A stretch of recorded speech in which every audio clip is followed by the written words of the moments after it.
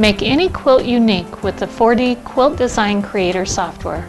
Draw an image or use a clip art to create special quilting designs that follow any theme you imagine, like this summer themed quilt. Let's see how to make the cute single flower shown in the quilt. To make the wonderful little flower on our quilt, we're going to start by quick tracing a picture. You can simply choose any picture that you've drawn or clip art that you want to work with. Follow through the design wizard using the different tools that are available as you go through to make sure your picture is just what you want it to be.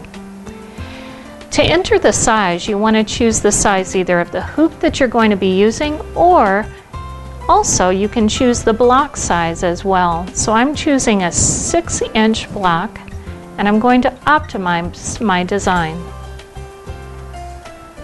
That's it, we've quick traced our picture that fast and easy. Now let's go up to the design player and see how this is going to stitch. So following along the little picture that was drawn, you can see how the Quilt Design Creator has made the design.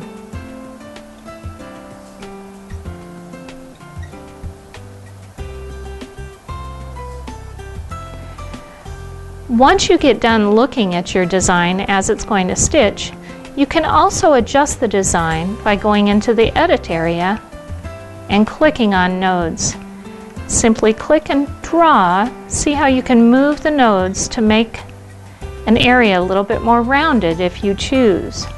And you're just going to click and drag very simply and easily. These are all the different nodes that you can work with to make your design exactly the way you want it. Another way to work with a picture is to simply load a picture. We're going to choose the exact same picture we used before, our little flower.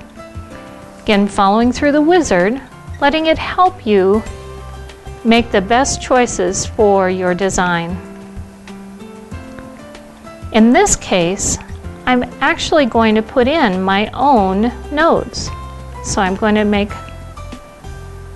click and drag, and actually just click, putting in points around the drawing.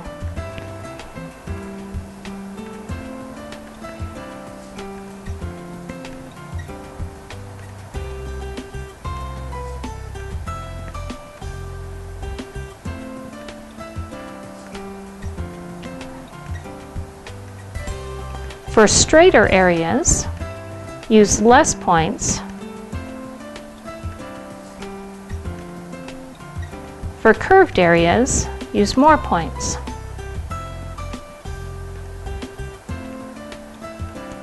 When you get toward the your first node, notice that the arrow turns into an arrow with a little plus. Simply click directly on that and then there's your, your little flower. And again, Notice what you can do is you can edit your points, move them around to get exactly on the line so you don't have to be perfect the first time. Another thing you may want to do as we move those points, get those in that right area, is you can also use the control key on your keyboard and notice how these center points are turning into a square. What that does is it makes sure that everything is nice, straight, and it's got a great point right at the end. So those squares mean you have a point rather than a curve. Let's use our design creator, or design player. You can see the design is actually stitching exactly the way that I created it in my quilt design creator. It's that easy to make that great little flower on our quilt. I hope you enjoy working with your quilt design creator.